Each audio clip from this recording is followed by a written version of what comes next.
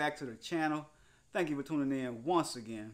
If it's your first time tuning in, I drop new videos every week. Smash that subscribe button so you don't miss this heat because I got plenty more heat coming. And also, leave a comment down below what you think about today's video. I would greatly appreciate it. And if you're thinking about purchasing any holsters or flashlights, like this one I got on my keychain right here, or any other types of flashlights, I got my affiliate links in the comment section. It'll be pinned in the comments. Use my link. I got a promo code that can help you. And if you use my link, it will definitely help the channel. I greatly appreciate it. And also, if you're really rocking with the channel, another great way to show your support is don't skip the ads, baby. but hey, now that we done got that out the way, you seen the title and the thumbnail, so you know we talking about the new DB15 AR pistol. I'm finally bringing an update on it. It's not 100% done, but it's about 90% done. I probably have maybe two more things I want to do to it and possibly three, but probably gonna just be two more things. So, but yeah, without further ado, let's get straight to it. This is my beautiful baby. So far, I think I did a pretty good job on it. Okay, before we go any further, let me show you that the firearm is clear.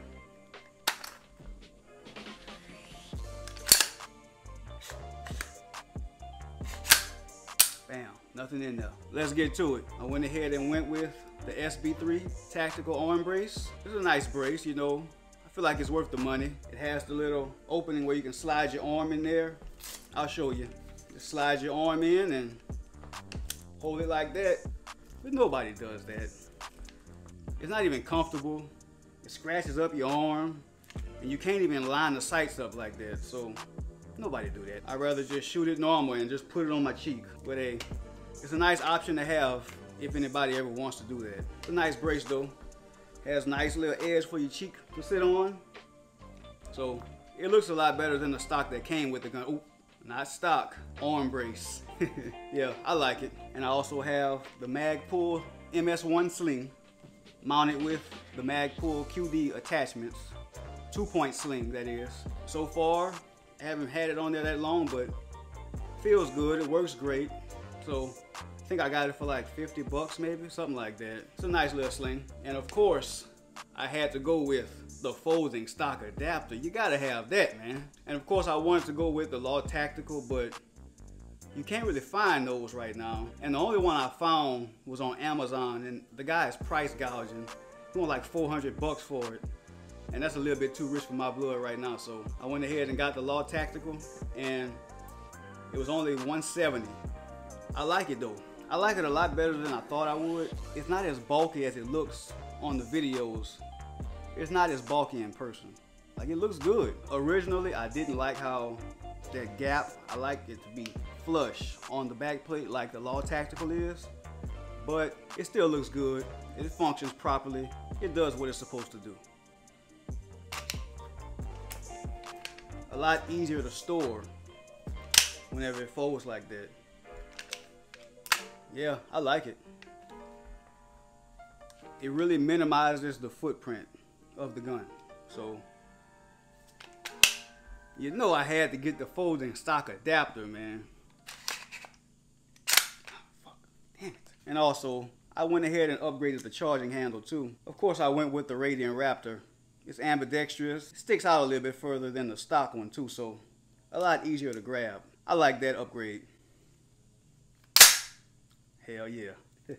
Up top, I got the Wilson Combat front and rear flip up sights. The gun originally came with the Magpul MBUS polymer sights, but for this gun, I kind of wanted some sights that are more minimal and slimline. Those MBUS sights were kind of bulky. The screws on the side kind of stuck out a little bit further than I liked, so these worked out better. They're a little slimmer. I like these better. That's just backup sights, you know, because we go with red dots these days, baby. I went ahead and got a budget red dot. Probably the most popular budget red dot out right now. And I see why. This thing is impressive. That red dot is nice and crisp and bright. Different settings you can adjust with. I recently took it to the range a couple days ago. I got it all zeroed in everything. It looks good. That's a nice red dot, man. I ain't gonna lie. I definitely would buy this again. I see why they're so popular. Moving ahead, I went ahead and went with the Streamlight ProTac Rail Mount 2. And I also have it mounted on the Arisaka Defense offset mount because I wanted it to kind of hug into the rail a little bit. I didn't want it to be sticking out, taking up too much space, you know. I just wanted to keep everything slimline as I possibly could. So I felt like this light with this mount would be a good fit. And of course I had to get the pressure patch. That way whenever I'm holding my gun, I have it right here, easily accessible. I've seen some other people whenever they put their Rail Mount 2 pressure patch on, they had problems with getting it secure on the Picatinny. Man, it was a little tough to get on, but I got it on and it's really on there. It's on there good. Like, it ain't going nowhere. I've seen some people that went like this and it came right off. They must have didn't have it on right because this thing is on there good. I shot 200 rounds through this thing a couple days ago and it didn't budge. If you get one of these and you have problems getting it on, trust me, it's possible. you just got to get it on right and it's gonna stay on. It's on there good, I promise you. This doesn't wiggle at all, no play. It's in there tight. I just took the wires and hit them inside of the Romeo and I just zip tied it together just to keep them from being in the way, you know. So far, it's a nice setup. It's working out really good. And another mod that I did, which is the most obvious, that Strike Industries angled hand grip. I got it in the red because I felt like a nice pop of color would be good for the gun, you know. So, and I was right. I really like it. It looks good. And um, so far, whenever I was shooting it, feels good in my hand. You can hold it like this, like this, or like this, or like you know, there's all kind of different ways you can hold it, but yeah, I like it so far. It's working out good. Everything on here is pretty new. I'm gonna do another video later on as I use them, just to let y'all know how it goes. If I have any problems with any of them, stuff like that, you know. The only thing I did notice that whenever I was shooting, after about 200 rounds, this rear sight came loose a little bit, so I'm definitely gonna have to Loctite that. And this too, I'm gonna have to Loctite this as well. So but everything else, nothing else budged. And I'm also gonna Loctite this too. Even though it didn't budge, but you might as well, you know, just in case, you never know. That's everything I have done to it so far. I've only got maybe two more things I wanna do to it. And one of them is, I think I'm gonna swap out the BCG and I would like to put a suppressor on it as well. And I'm on the fence about a trigger. I probably will, but I probably won't. So We'll see. But if you got any trigger suggestions, leave them down in the comments below. I'm thinking about maybe swapping out the trigger, but I'll definitely swap out the BCG and I'll definitely put a suppressor on it. Hopefully it doesn't take too long because I heard it's a long process. So we'll see how that goes. This is definitely my new favorite gun. But yeah, we're gonna jump on the table right quick and let y'all get a close up look of everything on the gun. Let's get to it.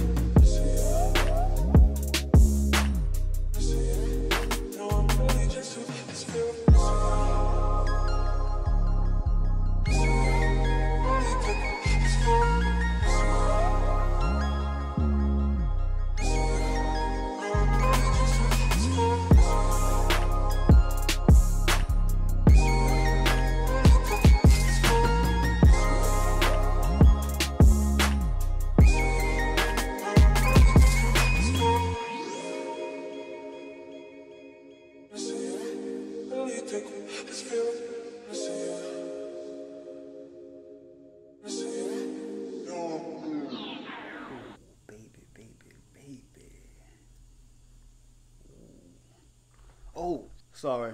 Me and my baby was just having a moment. Um, please forgive me. Let's clear her. She's clear, baby. Not 100% done just yet, but she's coming along just fine. Comment down below what you think about her. If you would have done anything different, or if you agree with some of the things I did.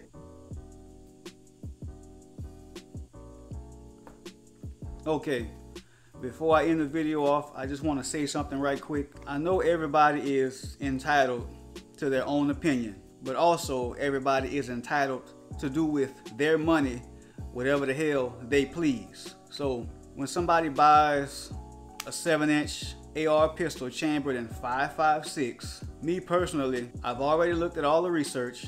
I know that it's not as effective as 300 Blackout as far as velocity at long distances, but I don't give a damn about that. I'm never gonna shoot anything 400, 500 yards away. And 223, 556 is a lot easier to get in my area. I don't even think I've ever seen 300 blackout rounds in my area. So the gun that I went with is a good choice for me. The fact that it might not be as effective as 300 blackout rounds at three, 500 yards away, I don't give a damn. All I care about is that it's gonna bust your ass if you come try to harm me or mine. It's gonna be a lot closer range than three, four, 500 yards away. I don't care about that. Whether you would have bought it or not, it don't matter. It's mine. I paid for it with my money. Nothing wrong with stating your opinion, but hey, just know that I've already done all that research already. I know what I'm doing. And shooting that far away anyway, if I'm shooting somebody that far away, that's murder. You know, that's not self-defense. So whether it's three, four, five hundred yards away, I'm not gonna be shooting nothing that far away anyway. So anything that I'm gonna shoot at is gonna be within hundred yards. I promise you that. But hey, thank you for your feedback. I greatly appreciate it. But hey, that's gonna be it. I hope you enjoyed this update on my AR pistol. If you haven't done so already, I drop new videos every week. Smash that subscribe button so you don't miss this heat because I got plenty more heat coming. And also, leave a comment down below what you think about today's video. I would greatly appreciate it. And if you liked anything about this video, smash that like button for me. Helps the channel grow, video reaches more people. Show your support. I would greatly appreciate that as well. And once again, if you're thinking about purchasing any Vedder holsters or flashlights, like this one I have on my keychain or any other type of flashlights, my affiliate links will be down in the comment section below. I'll have them pinned. I have a promo code also for the Olight store. Use my promo code, it'll help you. Use my link, it'll help me. I would greatly appreciate the support. But hey, thanks for tuning in. Me and my baby, we're gonna go get a little bit more acquainted. Until next time, Heat Nation, we gonna holler.